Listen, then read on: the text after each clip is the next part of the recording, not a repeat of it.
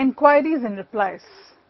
In any business, the purchase department will inquire about products, stationery items, machinery parts that may want to buy for the business and there will be replies which the organization will have to give for people who have inquired about their products and services. So, let us look at how these two forms of communication happen in a business environment. The most common letters in business because that is what transactions are all about in business. And this is generally a first category kind of letters and it is sent by an organization or an individual and they are the first and foremost information seeking letters, inquiries. Enquiries, letters seek information about a product that the company may be interested in buying. Categories of letters of inquiries, what are the various categories? One could be that an inquiry made at the buyer's own initiative, that the purchase department wanted to buy an emergency lamp and it knows where to inquire and hence it may write to the company straight. An inquiry made in response to the seller in the usual course of business.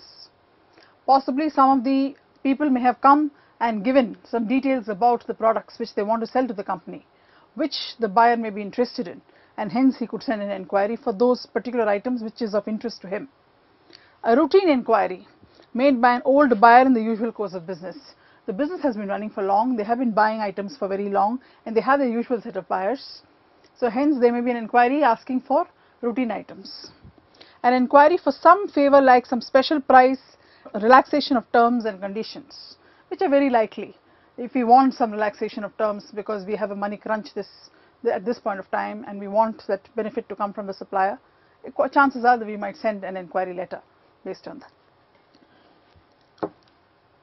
Writing inquiry letters, what are the things we should be careful about?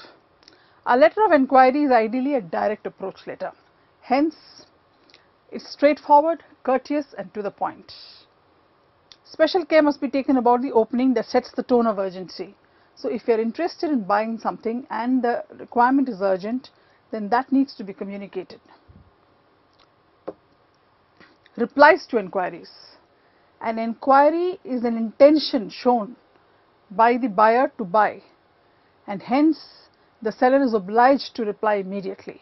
Otherwise, it gives a very poor image about the company which is selling. Quotations. Quotations are normal documents which have detailed information about the products which an inquirer has made with lots of details as far as pricing, mode of delivery, packaging and a whole lot of things which may be significant as far as the buy is concerned.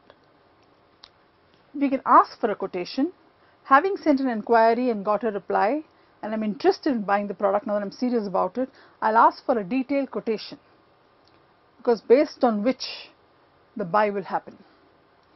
A polite request for quotation which is what will be included in the letter which is asking for a quotation, details of requirements with quality and quantity of goods, place and time of delivery. Because I may be buying sitting here for other factories, hence I need to know if they can deliver. Any special request about the mode of delivery or packing, special items they want special packaging then that may be requested.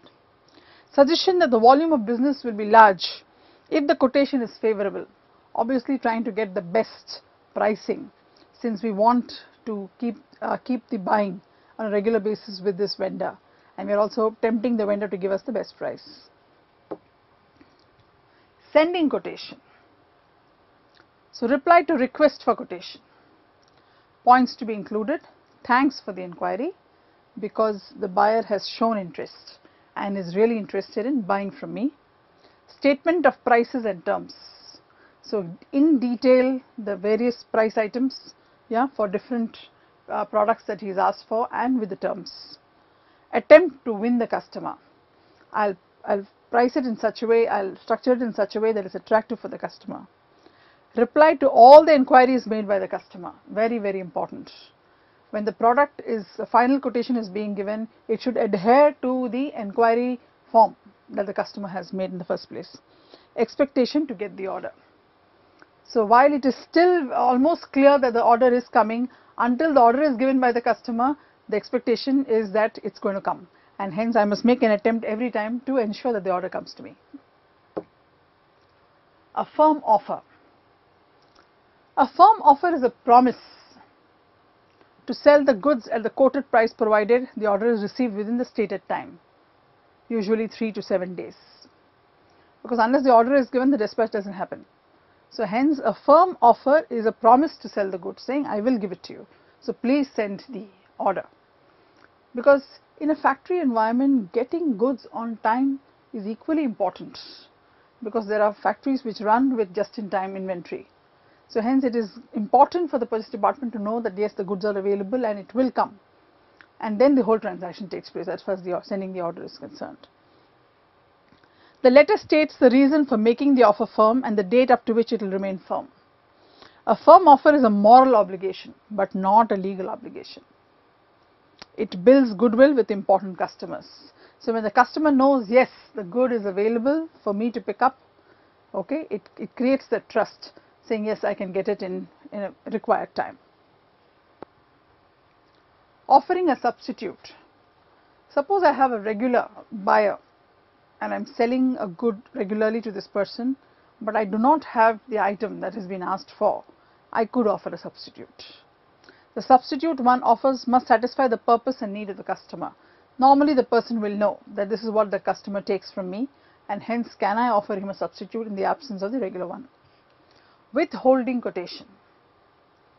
If a particular customer repeatedly asks for a quotation for the purpose of comparing with other quotations and does not place any orders, one may avoid giving further quotations. This happens when there are companies which take 5 6 quotations from different sellers, compare and then choose their own seller. And many a times when the seller is you know uh, giving a quotation and does not get an order, chances are that he may withhold the quotation.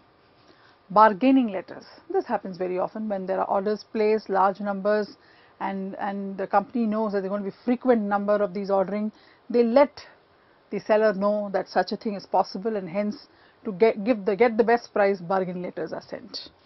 So, expression of thanks for the quotation, specific request for more favorable terms, attempt to show that the supply will benefit if he gives the requested terms, suggestion that frequent orders will be placed if the request is granted. This is what is conveyed through a bargaining letter.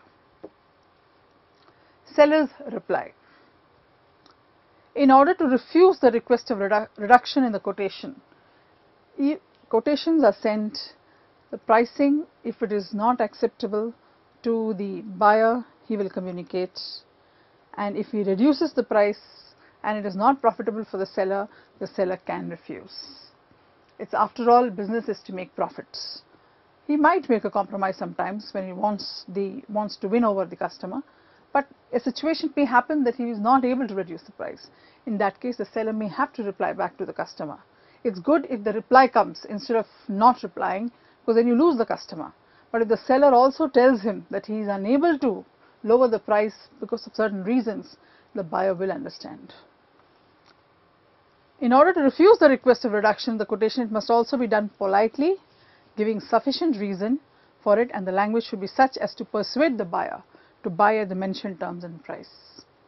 It should be able to satisfy the buyer so that no compromise shall be made in terms of quality or terms of service and the price offered is economical than the market rate. Basically, the seller is convincing him that it's value for money and hence he should not reduce the price. Getting back lost customers.